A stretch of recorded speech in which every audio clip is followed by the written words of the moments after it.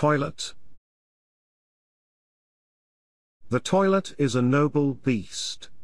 He takes our bile as a daily feast. He never complains about his lot. He's got more guts than most of us got.